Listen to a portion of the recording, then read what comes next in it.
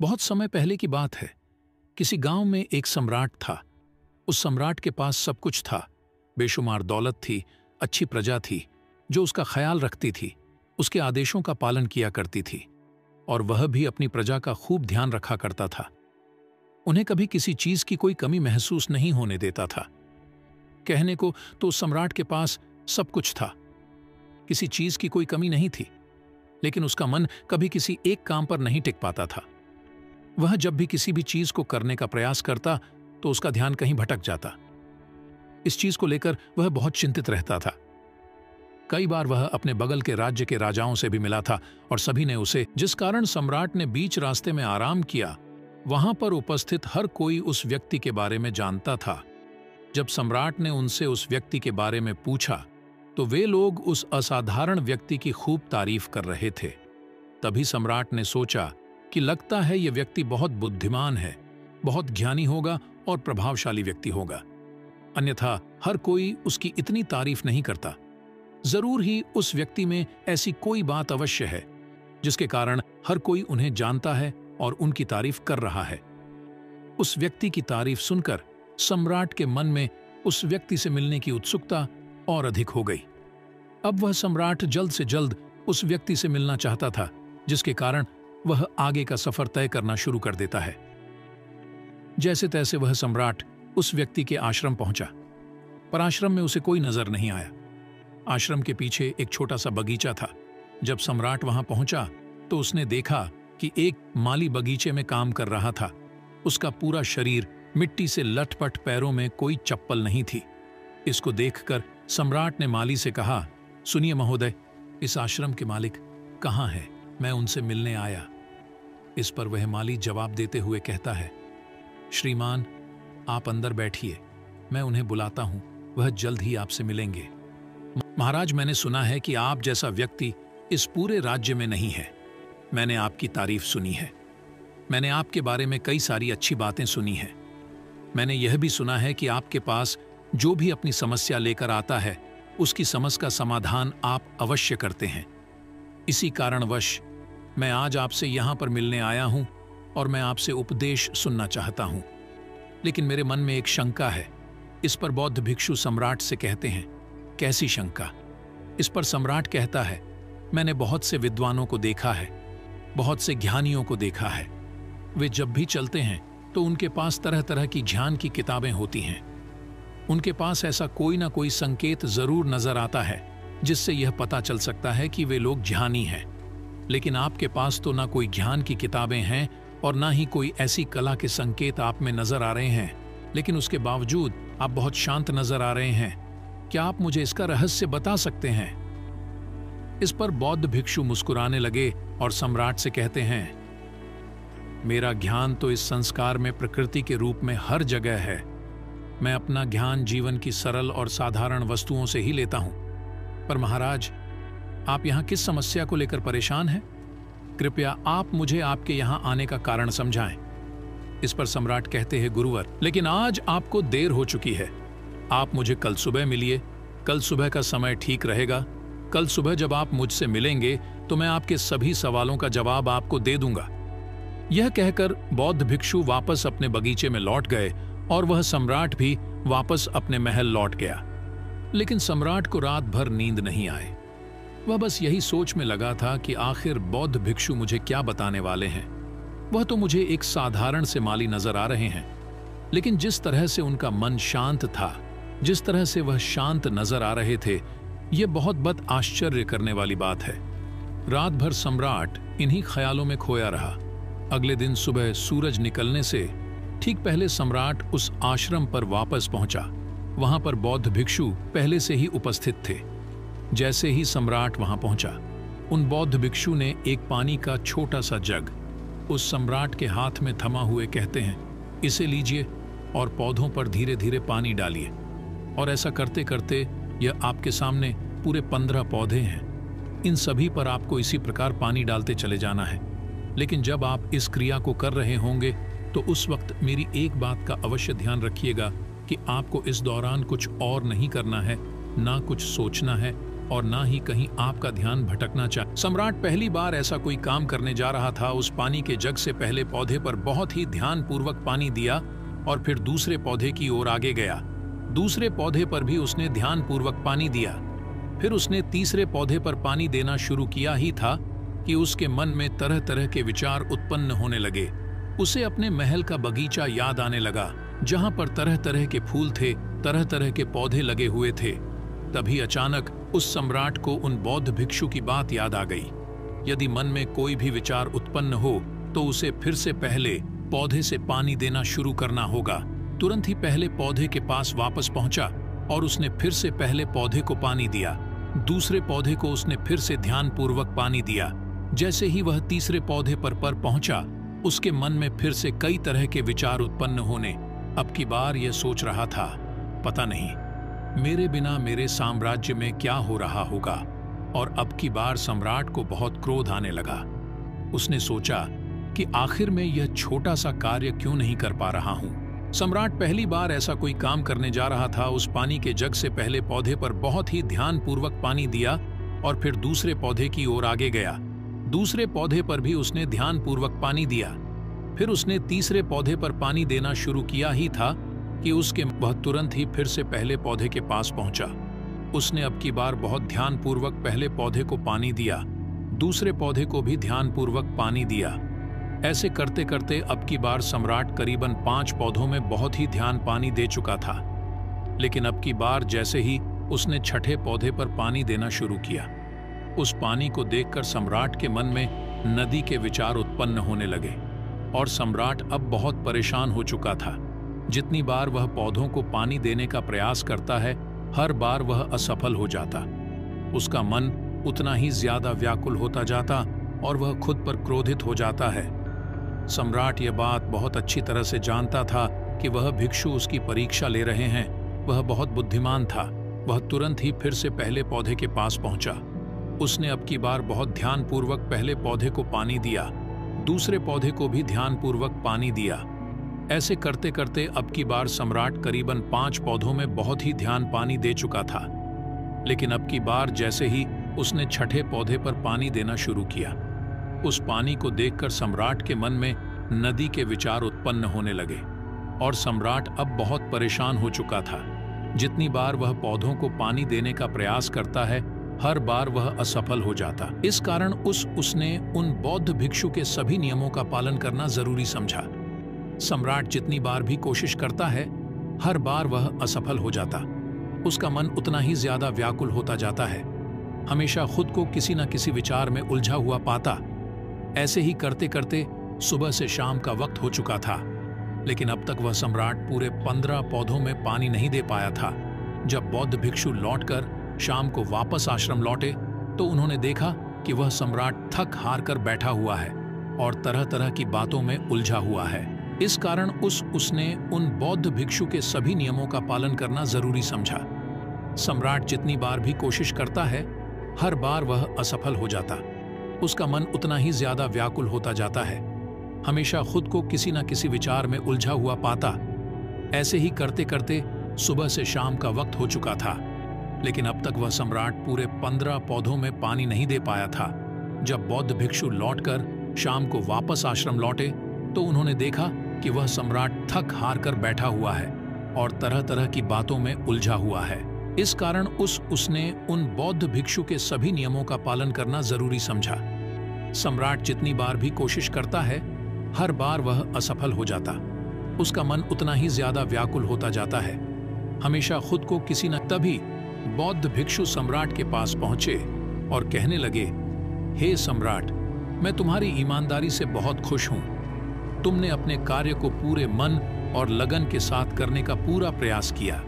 इसलिए, जो बात मैं तुम्हें बताने जा रहा हूँ, उसे बहुत ही ध्यानपूर्वक सुनना और समझने का प्रयास करना। जब हमारा मन विचारों से खाली हो जाता है, तब उसमें मन का असली स्वरूप नज़र आता है।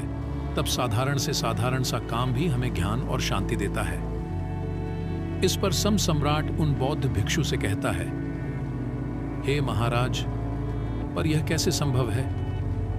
मैं तो जब भी कोई कार्य करता हूँ, तभी बौद्ध भिक्षु सम्राट के पास पहुँचे और कहने लगे, हे सम्राट, मैं तुम्हारी ईमानदारी से बहुत खुश हूँ। तुमने अपने कार्य को पूरे मन और लगन के साथ करने का पूरा प्रयास किया। इसलिए जो बात मैं तुम्हें बताने जा रहा हूँ, उसे बहुत ही ध्यानपूर्वक सुनना और समझने का प्रयास करना। जब हमारा मन विचारों से खाली हो जाता है तब उसमें मन का असली स्वरूप नज़र आता है। तब साधारण से साधारण सा काम भी हमें ज्ञान और शांति देता है। इस पर सम सम्राट उन बौद्ध भिक्षु से कहता है, हे महाराज, पर यह कैसे संभव है? मैं तो जब भी कोई कार्य तो मन में कई तरह के विचार उत्पन्न होते हैं, और मैं उन विचारों में फंस कर रह जाता हूँ, और वहाँ से बाहर निकलने का कोई रास्ता मुझे नज़र नहीं आता। तभी बौद्ध भिक्षु मुस्कुराने लगे और सम्राट से कहते हैं, हे सम्राट, तुम पौधों में पानी नहीं डाल रहे थे। तुम तो जल्दी जल्दी अपने इस कार्य को बस खत्म करना चाहते थे। तुम्हारे मन में तो यह विचार उत्पन्न हो रहा था कि तुम जल्दी से जल्दी इन पंद्रह पौधों में पानी दे दो और उसके बाद तुम मुझसे मिल सको। मुझसे अपने प्रश्नों का उत्तर जान सको। किसी कारणवश यह कार्य तुम्हें बोझ सा प्रतीत हो रहा था। मानो मैंने तुम्हारे कंधों पर एक बोझ रख दिया हो। और यही कारण है कि तुम अपने आप को इस पल में रोक नहीं पाए, जब हमारे सामने रखा हुआ कार्य बोझ लगता है। तो मन में कई तरह के विचार उत्पन्न होते हैं, और मैं उन विचारों में फंस कर रह जाता हूँ, और वहाँ से बाहर निकलने का कोई रास्ता मुझे नज़र नहीं आता।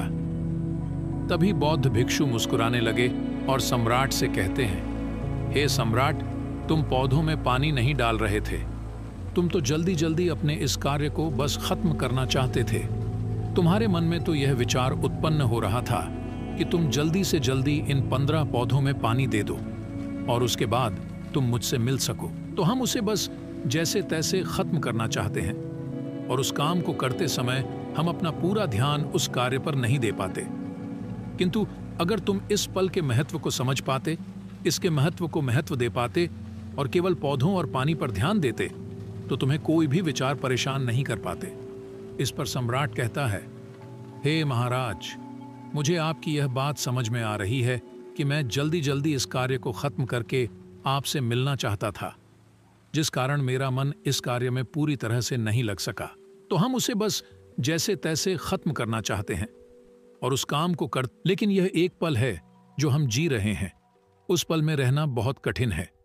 क्या मुझे इसके लिए कोई तपस्या या तप करना होगा? इस पर बौद्ध भिक्षु एक बार फिर मुस्कुराने लगे और सम्राट से कहते हैं, जिस शांत मन की तलाश तुम कर रहे हो, वह शांत मन तो पहले से ही मौजूद है, वह तो पहले से ही तुम्हारे भीतर है। इसके लिए तुम्हें कहीं भी जाने की कोई आवश्यकता नहीं है और न ही तुम्हें कहीं शांत जगह जाने की आवश्यकता है। इसके लिए कुछ ज़रूरी है तो वह है। अपनी सांसों पर ध्यान देना, इसलिए अपनी सांसों पर ध्यान देना। सीखो। हम किस तरह से साँसें ले रहे हैं और किस तरह से त्याग रहे हैं, इस बात को देखने और समझने का प्रयास करें। लेकिन यह एक पल है जो हम जी रहे हैं। उस पल में रहना बहुत कठिन है। क्या मुझे इसके लिए कोई तपस्या या तप करना होगा? इस पर बौद्ध भिक्षु एक बार फिर मुस्कुराने लगे और सम्राट से कहते हैं, जिस शांत मन की तलाश तुम कर रहे हो, वह शांत मन तो पहले से ही मौजूद है। वह तो पहले से ही तुम्हारे भीतर है। इसके लिए तुम्हें कहीं भी जाने की कोई आवश्यकता नहीं है, और न ही तुम्हें कहीं शांत जगह जाने की आवश्यकता है। इसके लिए कुछ ज़रूरी है तो वह है, अपनी सांसों पर ध्यान देना। इसलिए अपनी सांसों पर ध्यान देना। सीखो, तब तुम्हें यह समझ में आ जाएगा कि तुम्हारा शांत मन तो तुम्हारी सांसों के साथ ही बना हुआ है। उसके बाद तुम चाहो तो कोई भी कार्य करते वक्त भी अपनी सांसों पर ध्यान दे सकते हो। जब तुम कहीं चल रहे हो, कोई ऐसा कार्य कर रहे हो तो तुम्हें अपनी सांसों पर ध्यान देना चाहिए। या कोई भी ऐसी क्रिया जो तुम्हें वर्तमान से बांधे रखें, इसका एक और तरीका है। दो चार मिनट अपने आसपास की प्रकृति पर गौर करो। देखो कि क्या चल रहा है। तब तुम्हें यह समझ में आ जाएगा कि तुम्हारा शांत मन तो तुम्हारी सांसों के साथ ही बना हुआ है। उसके बाद तुम चाहो तो कोई भी कार्य करते वक्त भी अपनी सांसों पर ध्यान दे सकते हो। जब तुम कहीं चल रहे हो, कोई ऐसा कार्य कर रहे हो तो तुम्हें अपनी सांसों पर ध्यान देना चाहिए। या कोई भी ऐसी क्रिया जो तुम्हें वर्तमान से बांधे रखें, इसका एक और तरीका है। दो चार मिनट अपने आसपास की प्रकृति पर गौर करो। देखो कि क्या चल रहा है। तब तुम्हें यह समझ में आ जाएगा कि तुम्हारा शांत मन तो तुम्हारी सांसों के साथ ही बना हुआ है। उसके बाद तुम चाहो तो कोई भी कार्य करते वक्त भी अपनी सांसों पर ध्यान दे सकते हो। जब तुम कहीं चल रहे हो, कोई ऐसा कार्य कर रहे हो तो तुम्हें अपनी सांसों पर ध्यान देना चाहिए। या कोई भी ऐसी क्रिया जो तुम्हें वर्तमान से बांधे रखें, इसका एक और तरीका है। दो चार मिनट अपने आसपास की प्रकृति पर गौर करो। देखो कि क्या चल रहा है, तब तुम्हें यह समझ में आ जाएगा कि तुम्हारा शांत मन तो तुम्हारी सांसों के साथ ही बना हुआ है। उसके बाद तुम चाहो तो कोई भी कार्य करते वक्त भी अपनी सांसों पर ध्यान दे सकते हो। जब तुम कहीं चल रहे हो, कोई ऐसा कार्य कर रहे हो तो तुम्हें अपनी सांसों पर ध्यान देना चाहिए। या कोई भी ऐसी क्रिया जो तुम्हें वर्तमान से बांधे रखें, इसका एक और तरीका है। दो चार मिनट अपने आसपास की प्रकृति पर गौर करो। तुम्हारे आसपास इससे तुम वर्तमान में आ जाओगे। फिर तुम अब कार्य को जल्दी जल्दी बस यूँ ही खत्म नहीं करके उसे पूरे मन से करने का प्रयास करो, जिससे तुम्हारा मन एकाग्र होगा। और जब तुम्हारा मन एकाग्र होगा तो तुम चाहे कोई भी कार्य क्यों ना करो, फिर चाहे वह छोटा हो या बड़ा, तुम्हारा मन उसमें पूरी तरह से विलीन हो जाएगा, और वह कार्य ही तुम्हें शांति और ज्ञान भी प्रदान करेगा। ऐसे समय पर हमारे मन में किसी प्रकार के कोई विचार उत्पन्न नहीं हो पाते, और जब हम ऐसा करते हैं, तुम्हारे आसपास इससे तुम वर्तमान में आ जाओगे। फिर तुम अब कार्य को जल्दी जल्दी बस यूँ ही खत्म नहीं करके उसे पूरे मन से करने का प्रयास करो, जिससे तुम्हारा मन एकाग्र होगा। और जब तुम्हारा मन एकाग्र होगा तो तुम चाहे कोई भी कार्य क्यों ना करो, फिर चाहे वह छोटा हो या बड़ा, तुम्हारा मन उसमें पूरी तरह से विलीन हो जाएगा। और वह कार्य ही तुम्हें शांति और ज्ञान भी प्रदान करेगा। ऐसे समय पर हमारे मन में किसी प्रकार के कोई विचार उत्पन्न नहीं हो पाते, और जब हम ऐसा करते हैं, तुम्हारे आसपास इससे तुम वर्तमान में आ जाओगे। फिर तुम अब कार्य को जल्दी जल्दी बस यूँ ही खत्म नहीं करके उसे पूरे मन से करने का प्रयास करो, जिससे तुम्हारा मन एकाग्र होगा। और जब तो कर्ता और कर्म एक हो जाते हैं, और हमारे भीतर की जो शांति है, वह प्रकट होने लगती है। हम उसमें मग्न हो जाते हैं। इसे तुम चाहे तो आनंद कह सकते हो, या फिर वर्तमान में जीना कह सकते हो, और यह अवस्था सरलता से प्राप्त भी कर सकते हो। बस, तुम्हें केवल अभ्यास करना होगा। बौद्ध भिक्षु सम्राट से कहते हैं, जो मन मुश्किलों में शांत रहता है, मुश्किलों से भागता नहीं है, केवल सचेत रहता है, वह मन हर परेशानी को पार कर सकता है। तो कर्ता और कर्म एक हो जाते हैं, और हमारे भीतर की जो शांति है वह प्रकट होने लगती है। हम उसमें मग्न हो जाते हैं। इसे तुम चाहे तो आनंद कह सकते हो, या फिर वर्तमान में जीना कह सकते हो, और यह अवस्था सरलता से प्राप्त भी कर सकते हो। बस, तुम्हें केवल अभ्यास करना होगा। बौद्ध भिक्षु सम्राट से कहते हैं, जो मन मुश्किलों में शांत रहता है, मुश्किलों से भागता नहीं है, केवल सचेत रहता है, वह मन हर परेशानी को पार कर सकता है। तो कर्ता और कर्म एक हो जाते हैं। और हमारे भीतर की जो शांति है, वह प्रकट होने लगती है। हम उसमें मग्न हो जाते हैं।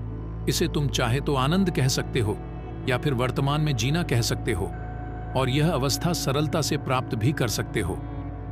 बस, तुम्हें केवल अभ्यास करना होगा। बौद्ध भिक्षु सम्राट से कहते हैं, हर दुविधा से बाहर निकल सकता है। सम्राट को, उन बौद्ध भिक्षु की यह सारी बातें समझ में आ चुकी थीं। उसने उन बौद्ध भिक्षु को प्रणाम किया और वहाँ से वापस वह अपने राजमहल लौट आया। उसने अपनी सांसों पर ध्यान देना शुरू किया और धीरे धीरे इस निरंतर अभ्यास के कारण वह अपने हर कार्य को ध्यान और मन लगाकर किया करता था, जिससे उसे असीम शांति मिलती थी और वह छोटे छोटे कार्यों से भी ज्ञान प्राप्त कर लेता था। इसलिए हर दुविधा से बाहर निकल सकता है। सम्राट को, उन बौद्ध भिक्षु की यह सारी बातें समझ में आ चुकी थीं। उसने उन बौद्ध भिक्षु को प्रणाम किया और वहाँ से वापस वह अपने राजमहल लौट आया। उसने अपनी सांसों पर ध्यान देना शुरू किया और धीरे धीरे इस निरंतर अभ्यास के कारण वह अपने हर कार्य को ध्यान और मन लगाकर किया करता था, जिससे उसे असीम शांति मिलती थी और वह छोटे छोटे कार्यों से भी ज्ञान प्राप्त कर लेता था, इसलिए हर दुविधा से बाहर निकल सकता है। सम्राट को उन बौद्ध भिक्षु की यह सारी बातें समझ में आ चुकी थीं। उसने उन बौद्ध भिक्षु को प्रणाम किया और वहाँ से वापस वह अपने राजमहल लौट आया उसने अपनी सांसों पर ध्यान देना शुरू किया और धीरे धीरे दोस्तों, कभी किसी कार्य को बोझ मानकर मत कीजिए, क्योंकि यदि आप उसे बोझ मानेंगे तो जल्दी, जल्द, जल्दी उसे आप अपने ऊपर से उतारने का प्रयास करेंगे, अर्थात उसे जल्दी जल्दी खत्म करने का प्रयास करेंगे लेकिन इस प्रयास के दौरान आप जो भी कार्य करेंगे, वह पूरे मन और लगन से नहीं हो पाएगा।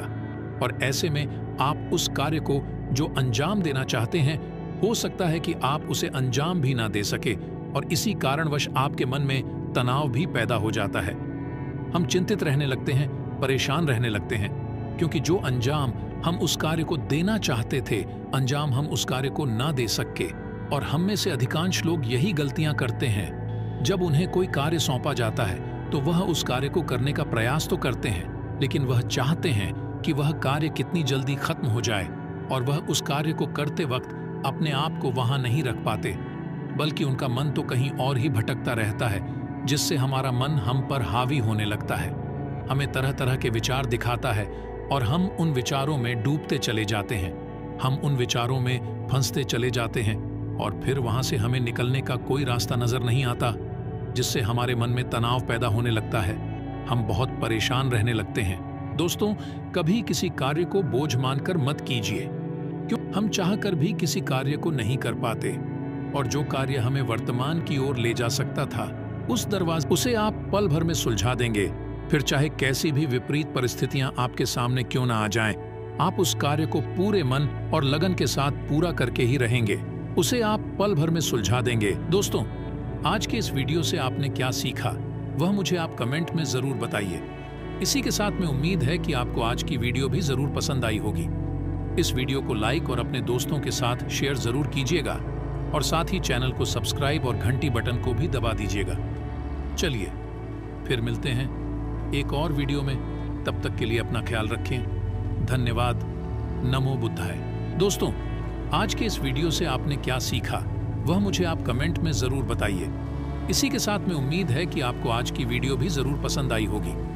इस वीडियो को लाइक और अपने दोस्तों के साथ शेयर ज़रूर कीजिएगा और साथ ही चैनल को सब्सक्राइब और घंटी बटन को भी दबा दीजिएगा।